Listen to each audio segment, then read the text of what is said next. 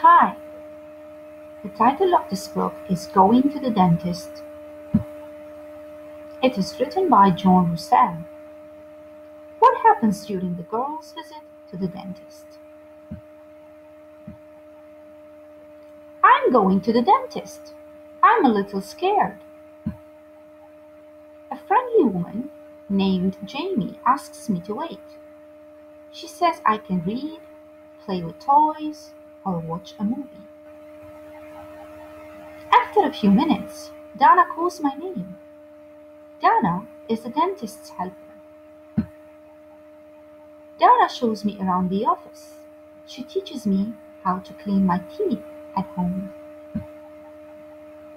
Donna says she will make my teeth super clean. She shows me the tools she will use. Some of the tools look scary, but the cleaning doesn't hurt. Next, Donna takes special pictures of my teeth. The dentist comes to check my teeth.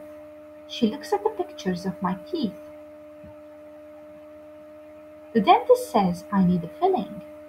I will have to come back another day.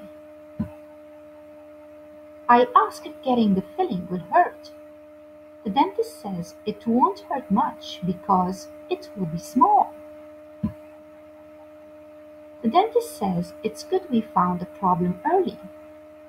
I'm not happy I need a filling, but I'm glad I went to the dentist. The end.